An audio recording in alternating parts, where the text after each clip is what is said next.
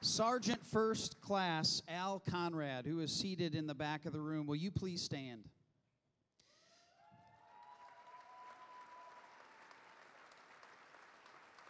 Sergeant Conrad has served his country and this high school for a combined 45 years, and he's announced his intent to retire at the conclusion of this school year. Tonight we have a special tribute for him.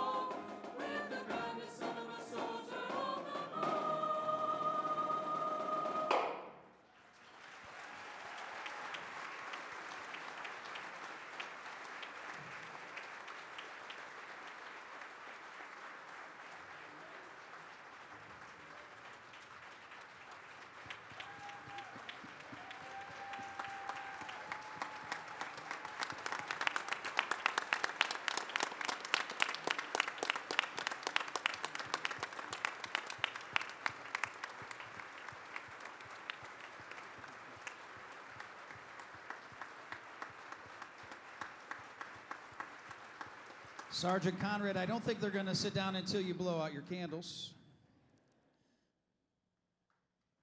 Yeah. And thank you, cadets. You are dismissed.